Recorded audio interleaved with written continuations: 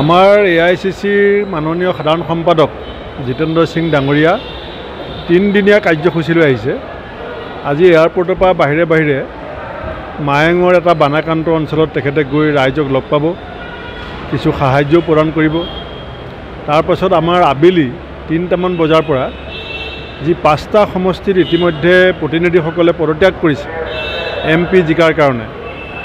বিহালী বঙাইগাঁও চিডলি চামগুৰি আৰু আপোনাৰ ধলাই এই পাঁচটা সমষ্টিৰ আমাৰ দলৰ যিসকল তৃণমূল পৰ্যায়ৰ নেতা ব্লক সভাপতি জিলা সভাপতি তেওঁলোকক আমি মাতিছোঁ।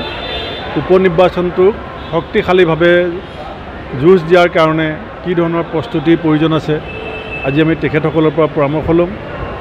কালিলৈ আমাৰ গোটেই অসমৰ প্ৰত্যেকখন জিলাৰ প্ৰতিনিধিক আমি মাতিছোঁ।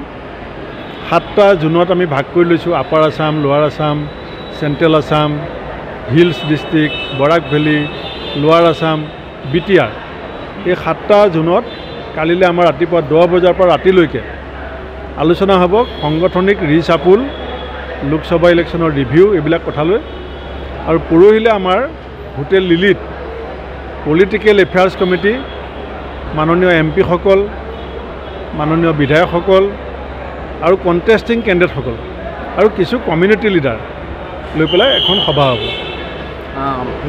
যোৱাকালি আজমলে কৈছে টাইগাৰ ইজ বেক বুলি কৈছে কিবা ক্ষতি হ'ব নেকি আপোনালোকৰ? আমিতো মানুহ আমি ৰাইজৰ সেৱক আমিতো আৰু বাঘ হাতীৰ লগত যুঁজিবলৈ নাযাওঁ।